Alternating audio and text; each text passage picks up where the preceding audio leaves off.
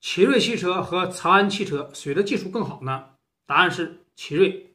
奇瑞呢拥有更强的一个自主研发能力，它的发动机在国产里面敢说第二，没人敢说第一。就在合资里面也没有几个敢跟它叫号的，不然日本的川崎重工也不可能大量采购奇瑞的发动机。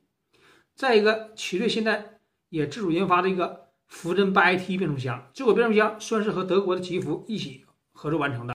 但是奇瑞参与了整个的研发过程，而且还控股，没有任何问题。它这款福珍八 AT 简来就是要取代这个哥特拉克和三体柳州的七档四双离合的。如果这个变速箱呢不行的话，奇瑞不会这么下功力的，也不会拿起石头砸自己的脚。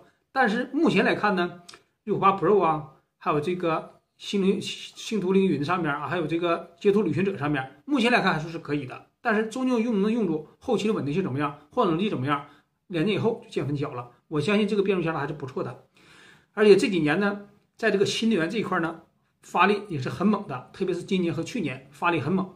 长安呢，这个车企呢，怎么说自己的蓝鲸的 1.5T、2.0T 发动机也是非常优秀，也是非常棒，很好啊，也能用住。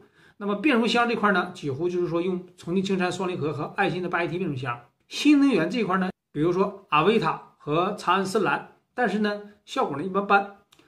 自主研发能力呢，还是这个奇瑞更强一些。他们的主销车型就是瑞虎八系列，还有这个长安七五 Plus。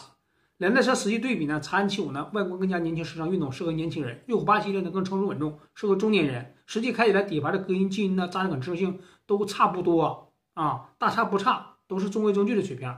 但是预算十多万买 SUV，我跟你讲。